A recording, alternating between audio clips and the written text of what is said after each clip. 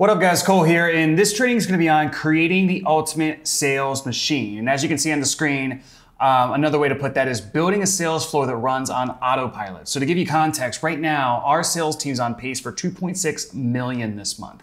And I have very, very minimal interface and, input with my sales team at all. I'm not gonna say it runs completely on autopilot, but it is pretty doggone close. So it's semi-autopilot and it's a multiple eight-figure sales team, which for a lot of entrepreneurs is the dream, right? They don't want to be micromanaging a sales team and having to onboard and train every single sales rep that comes on, but instead they want something that can make sales day in and day out, great day-to-day sales, and then allows them to work on their business, not be sucked inside of the business. So we're going to talk about how to do that in this training. So as you can see on the screen, uh, what we're going to cover is beginning with the end in mind, putting your high ticket sales team on autopilot, the importance of having proper sequence, because as you'll see in this, most people try to skip steps. And it's very, very important you go in a specific order to be able to get the result here. And then we're also going to talk about identifying when you're ready for a sales manager. Many people do that too early, so it's a big mistake. Then once you are ready, how to train the sales manager and how to transition leadership over to the sales manager. And we'll finally go over some sales manager SOPs. Now, before we get into this, if you want this document, comment doc in the YouTube comments below and we will get this to you ASAP. So just comment doc below and somebody from my team will just send you this, uh, this Google Doc link in the chat. Now, Let's begin with that in mind. What are we here to build? And what is this training ultimately going to lead you to? Well, it's really having a high performing sales team on autopilot. So um, we're not going to get there immediately, but eventually, if you have a high ticket business, your aim should be for the sales department of the business to run on autopilot without you having to constantly pour attention, time, and energy into it. So my sales team regularly produces, produces anywhere from 60 to 200 grand a day. I think Last Friday, we produced 225 grand in a single day. And that's not off any launches. That's not off, uh, you know, promotions or anything. I mean, these are evergreen day-to-day sales that come in like clockwork no matter what. Okay. And without, you know, as you'll see, I have a little bit of input, but for the most part, I'm completely removed from the day-to-day of actually managing and being a part of that team. Okay. Now, obviously I didn't get there, um, you know, instantly there was a sequence and a process which you're going to learn in this video that I took and other people who have been my clients who've done the same thing have took as well. So where we eventually want to get to once we can kind of get out of the day-to-day sales is really the point where you are um, almost like chief product officer and eventually kind of like the rainmaker. And what I mean by that is your main responsibility is going to be once you're out of it to just keep calendars full at all costs and also work on positioning and the messaging in the marketing plays, kind of seeing what the trends are making sure you're staying, uh, staying ahead of that and positioning yourself around it. And then of course, building and training your executive leadership team, leading through that team to lead the rest of the team, and refining your product, refining your back end, and making sure those are good as well. Which obviously, those aren't things you're stuck with forever either. As you develop those skill sets, you can transfer those off to the executive team and then really be a CEO to where your main role is just to lead that team. And then eventually, uh, you can hire a CEO. I'm not there yet, but that's kind of the vision here. So let's talk about the proper sequence. Um, that end destination, right? Having, you know, 100 grand a day in sales come in uh, repeatedly, day in, day out, evergreen pretty great, especially if you don't have to be a huge part of it. It's all what we want, but we can't jump there immediately. We have to do things in the proper sequence. There's a proper order to it. So the biggest mistake I see is what I call this pendulum swing. And essentially, you know, we help uh, entrepreneurs hire, you know, anywhere from our you know, early company who works with us might be doing 30 to 40 grand a month. They're doing all the sales themselves. Our top company does 1.5 billion a year, has a huge sales floor. So uh, we work with a wide variety, a range of people, but a lot of folks will come to us uh, when they're trying to hire their very first sales rep and they're the founder and they're doing all the sales themselves. And what happens when they finally, like, we help them get the sales rep and the sales rep's performing?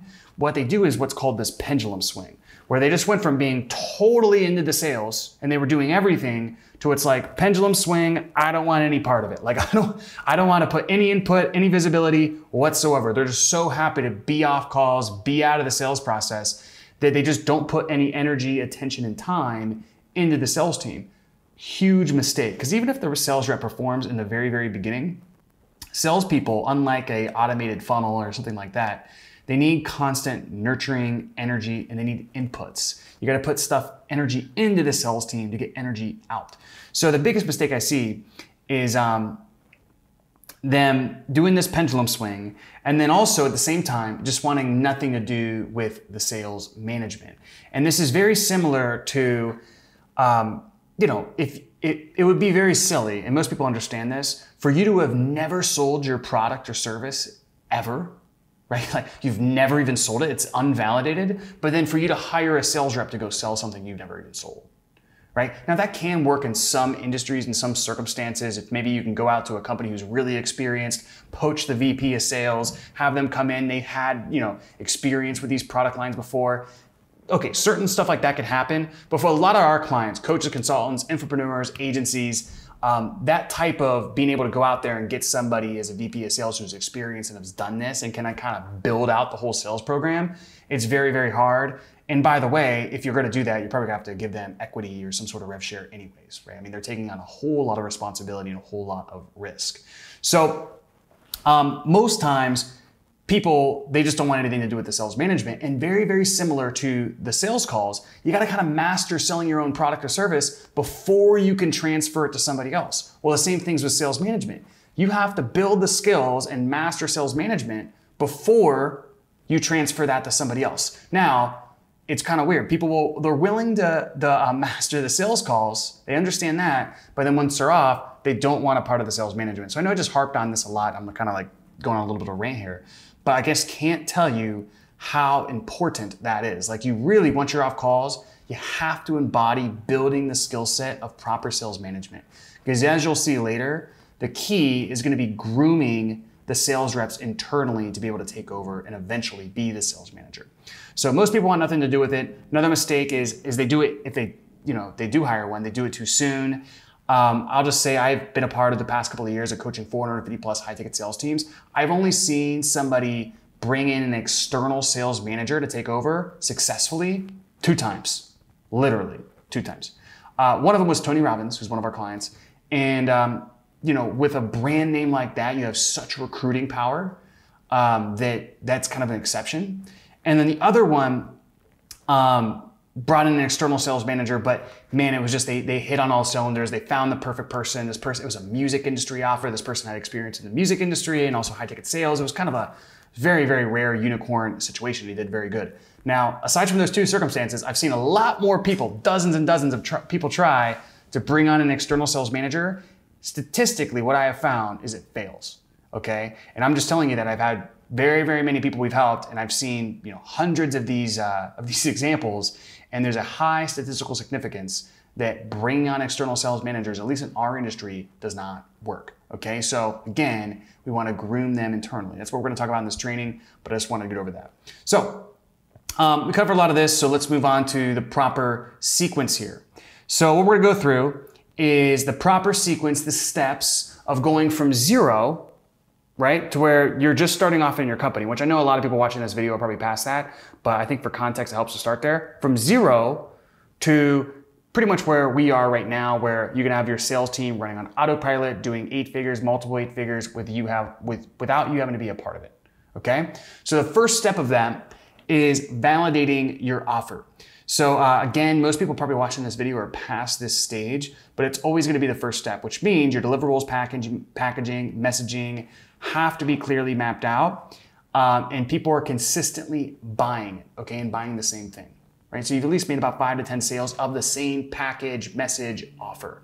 Okay, this doesn't mean if you're a full service agency and you're doing, you know, 10 different things for 10 different people, you really don't have a validated offer, right? You have to have a clear package and you're consistently selling that clear package. So at this stage, most folks, at least in our industry, are doing some organic, uh, they're doing this selling themselves. They're doing a good bit of fulfillment themselves.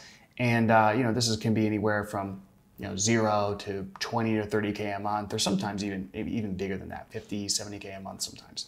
Now, step number two is validating your optimal selling system. So, optimal selling system is a term I got from Mark Ford from his book Ready Fire Aim, which is the best business book I've ever read. And um, essentially, what this is, at least my definition of it, um, is a customer acquisition system that fits two key criteria. One is a consistent, repeatable, scalable way to turn cold prospects into sales calls. Okay, so the first criteria is a consistent, repeatable, and scalable way to turn cold prospects into sales calls. The second criteria is a consistent, repeatable, scalable way to turn the sales calls into clients, right? That's it. So two consistent, scalable, repeatable ways to turn one, cold prospects into sales calls, and two, sales calls into clients. That's it. Okay? Most people think they have this, but they do not. Okay? And I put here, just for this one, this is the one people kind of trip up on. I think people understand um, you need to have a repeatable sales process. Like when you're on the sales calls, that needs to be repeatable. A lot of people don't really get um, the repeatable uh, lead acquisition, right, of generating sales calls. So, um, and I'll give credit to Alex Hormozi on this. He talks about the six main methods of acquisition. There's owned media, earned media, word of mouth, paid, affiliate, and outbound. Okay, so you have to get one of these channels repeatable and scalable. Now, in the coaching, consulting, and agency entrepreneurship type of industry, typically it's going to be one of two. It's either going to be manual outbound or paid. Okay. Now, if you're running SaaS, if you know, there's there's so many different industries and business models out there to where certainly you could have a scalable scalable model all through affiliates, a scalable model all through word of mouth, uh, owned media, earned media. But most times with our clients, and I've had a lot of them at the eight-figure, multi eight figure level, what they've mastered is either scalable outbound or scalable paid, and really the high majority is scalable paid. Okay. So um, not that any of the others don't work, but typically we want to master one of those. Now, few key things here is again, most people think they kind of have this mastered, but the key is that you have the system, and this is why the outbound and the uh, paid work so well. You have a system where the inputs equal or highly correlated to the outputs. Okay, so what that means is like ads is a great example, right? Let's say you have your ads, they're validated, they're running in KPI. If you're spending $1,000 on ads and getting X, Y, and Z results, okay, well, if you spend $2,000 in ads, you should see a, you know, not maybe not a 2x increase, but a 1.8x increase because you're gonna, maybe going to be paying a little bit more of a premium through the increased ad, ad costs and the CPMs. Okay, same thing with manual outbound. If you have two, two setters or two uh, SDRs who are generating, let's say, 15 sales calls a week apiece, so 30 sales calls a week total. If you add two more and they get within KPI, you should double the results, given you actually give them the same amount of data and the opportunity, et cetera. Right? So you see how with those two systems, the inputs are very highly correlated to the outputs. Now, the reason that is really important is because as you'll see with building a sales team, it's very, very important that we can pull the lever and be able to predictably fill another sales calendar. That's how we're gonna scale our sales team really fast. And where people get tripped up is they're maybe doing a little bit of organic, they have kind of like a YouTube channel, they got a little TikTok over here. It's very kind of all over the place and inconsistent, and they can provide one sales calendar worth, but it's not as easy as being able to provide that second, third sales calendar and scale repeatedly and consistently. And then also, if you're highly organic coming from, you know, word of mouth, a networking event, some are coming from like a little bit of Facebook organic, some are coming from YouTube. What happens then is the context of which the leads are coming in is different. And that does make it a little bit harder for the sales team to have their repeatable process, which brings me to the second one. And so you want the, the lead acquisition process to be consistent, repeatable, scalable, inputs, outputs. Same with the sales process. Most founders, because they they're experts in what they do, they're a little bit more charismatic, they have high amounts of certainty in what they do, they kind of wing it without any sort of repeatable process. Okay, you have to really refine it down and really get like a repeatable sales process of turning that sales call into a client. Um, and you got to make sure that works on cold traffic. So this is very, very, very important here is we'll see founders come in and they're like, dude, I'm closing 84%, offer's totally validated, la da da da da. But it's all, you know, referrals, word of mouth, warm traffic, or like affiliates or something. And then they launch cold traffic, bring on a sales team, and they're like, well, why is my sales team converting 15%? Well, look, you just changed two variables, right? You went from closing warm people with a sales process to now the sales process closing cold people. And then on top of that, the lead acquisition is totally different. So you're changing too many variables at once. And what we really want to do is we want to create the conveyor belt. It's meaning what you should do is first get the cold traffic thing, whether that's manual outbound or paid, dialed in. And then once that's dialed in, you need to make sure you're able to convert those people as the founder, right? Because if you throw a salesperson into a whole new lead acquisition system that's cold and they're not converting, they're going to have no idea if it's them or the lead acquisition process, if that makes sense. So we want to get that validated and then get the founder to sell at least five to 15 of those at the minimum. And then once the conveyor belt is working, they can take themselves out and put in a salesperson. Now we've only changed one variable. So everything is isolated, which we're going to talk about this in a second, but you really should hire two salespeople, not one, which brings us to step number three. So again, once everything's working like a conveyor belt, we're going to want to remove ourselves from the sales process. So we've already had a validated offer, validated lead flow, validated sales process. So everything's like a conveyor belt. We're moving one variable, putting a sales rep in.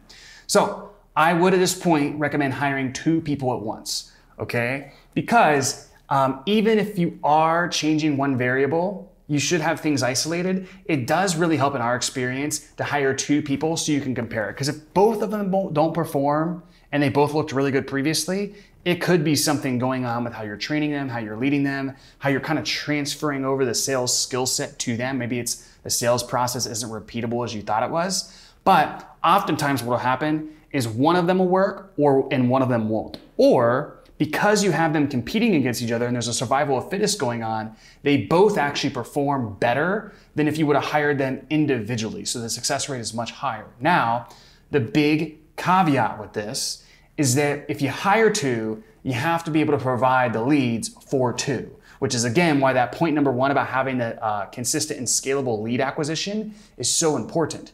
Because if let's say you got like the organic and it's it's kind of inconsistent, you have enough for one salespeople, but it's not predictable into to where you could fill two calendars. What's going to happen is sometimes both of them are going to work out, and you're not going to be able to fill both of their calendars. So both of them are going to have mediocre calendars, and then you're going to churn.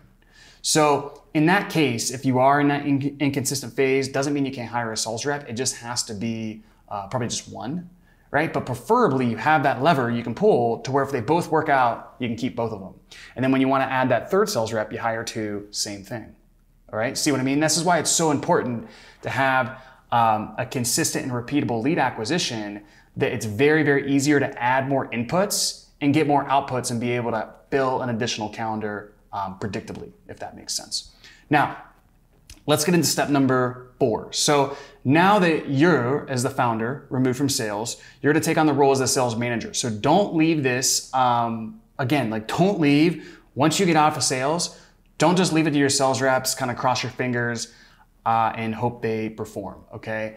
Uh, if you really want to have a high performance sales team, that is not going to happen. There's no sales team out there that's super high performance, that has no management, no training, no coaching whatsoever. There's no sports team out there that has no coach, no you know training, management, anything that is a high performing team, right? Every great team has a coach and a leader, and now is your time to be that person.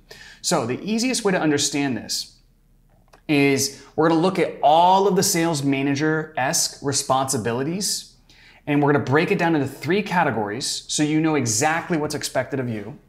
And then what I'm gonna show you how to do is how to um, systematically, basically, offload those categories onto new hires until you're not doing anything.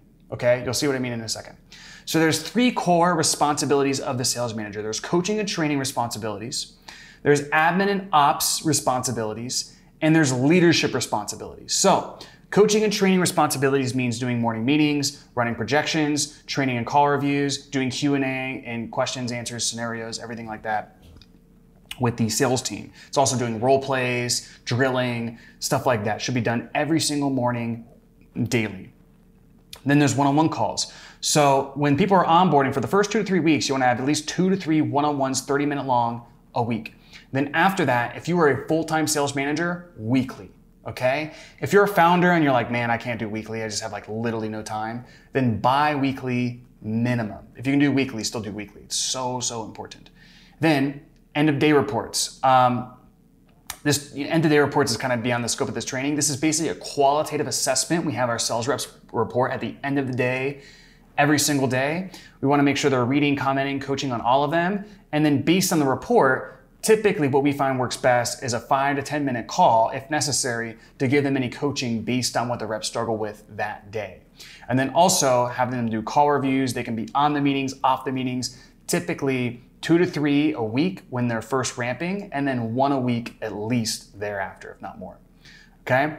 So that's the coaching and training responsibilities. Now we're moving on to admin and ops responsibilities. So this is grading, approving, removing applications that are coming in. So just kind of delegating the leads to the sales team and then also determining what's a MQL, which basically means a marketing qualified lead. So we're generating a lot of applications through paid, but then our sales coordinator who does these admin and ops, we'll talk about sales coordinators in a second, they're determining what's an MQL, which is a marketing qualified lead, and what are we going to move to a setter to requalify, or what are we just going to cancel, where we're not going to accept. So they're also going to work with attribution, understanding what closes came from where, what appointments came from where. They're going to communicate uh, calendar availability to the marketing department. So there's a liaison between marketing and sales. They're going to make sure the closers do their admin. We all know closers love doing their admin. Just kidding. Um, they're going to maintain accuracy of the tracking dashboard, making sure all the reporting is uh, is in line, is accurate, and um, they're going to integrate that reporting and make sure there's consistent consistency between the marketing dashboard reporting and the sales reporting because most times there's not. Um, marketing tends to over-report, sales tends to under-report. Now, the final responsibility of the sales manager is leadership. Okay, and this is mainly going to occur on the meetings where it's communicating vision, mission, and values, holding people accountable, doing projections, and uh, you know, doing you can do some sales training, some role plays, even with the founder in a meeting. Okay, so when you first take over, you got to do all of this stuff. Now the key is very quickly we're going to offload one of these three categories. You're going to see which right now. So that's step five. Is step five is hiring what's called a sales coordinator, or just having your up, uh, an existing operations person or EA absorb those sales coordinator responsibilities. So basically, what is a sales coordinator or you know, what is that? What are those types of responsibilities? All of this admin and ops stuff, instantly we're going to absorb into somebody else. Okay? So right away, you had these three responsibilities. I would never recommend any founder doing this stuff that I've highlighted on the screen. Don't do it. Have an operations person absorb that. Okay? Um, I wouldn't recommend you typically don't need a full-time sales coordinator for this stuff until you're probably multiple eight figures. But um, usually I, I, recommend people have their EA or existing ops person absorb it. So right then and there, now you as the founder, you're just down to coaching and training and leadership. Okay? So then the next step is going to be offloading another one of those responsibilities. And that's step six, which is identifying your sales lead. Okay? So once you get to about three to four total salespeople, regardless if they're outbound or inbound, you're going to want to start to identify who's your sales lead. And basically, this is an A player closer, um, or it could be an A player setter for your team if you want to have two leads. Okay? And this person is going to take over all the coaching and training responsibilities. They're going to do all the one on ones, especially the one on ones during um, onboarding and training. So you might do like kind of the bi weekly one on ones thereafter still, but like the first initial couple one on ones a week, they're to do those. They're going to help lead meetings. They're going to do separate breakout rooms. So, you know, you'll do a breakout room on Zoom. You take part of the team. They take part of the team. You kind of tag team call reviews. Uh, they're going to comment on the end of day reports. They're going to do call reviews on the meetings, outside of the meetings, and they're also going to take calls. So, very, very key here. The sales lead is a player coach. Player coach. Okay. And the majority, like 98% of their income, should still some uh, still come from selling. Okay? So don't confuse this person with, oh, I need to offload all this managerial stuff on them. You know, they're going to be helping, but you're still technically the manager. Okay? But this drastically helps. Okay? I mean, because a lot of these responsibilities are the tedious, repeatable ones, you know, having rep shadow calls, things like that. And it's really great once you can get rid of these because now you're down to just this. You're down to just running the meetings, which typically on our meetings we do announcements, projections. Then after we go through projections, then we'll do a training or we'll do a call review or we'll do a role play and we'll drill, depending on kind of what we feel like is needed in the moment. Or we'll do a combination of all of those. So now you're down in the meetings are maybe an hour a day tops. So now you went from all this stuff down to an hour a day. And that's where you want to get to as fast as possible.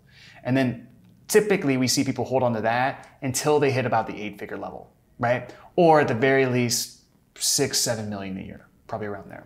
So, what's really key here is um, this person's kind of helping you onboard people. The new people are shadowing this person. They're helping kind of do some call reviews here and there, but it's not drastically taking away from their day to day sales. Like they should not be making significantly less or really anything less at all. Like they should be kind of be able to juggle some hats here.